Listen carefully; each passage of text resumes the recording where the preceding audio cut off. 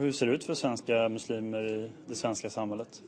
Ja, I Sverige när vi diskuterar rasism eller islamofobi så gör vi det ofta genom att se det som en attityd eller uppsättning åsikter. Men om man tar ett samlat grepp på rasism som en fråga om sociala och ekonomiska förutsättningar för människor så ser man att muslimer är socialt och ekonomiskt eftersatta i nästan alla samhällsarenor. På arbetsmarknaden, när det gäller inkomster, boendet, eh, hälsan, Eh, politisk representation. I alla de här avseendena återkommer samma mönster, en, en betydande diskriminering mot svenska muslimer och det är det som vi vill fästa större uppmärksamhet på.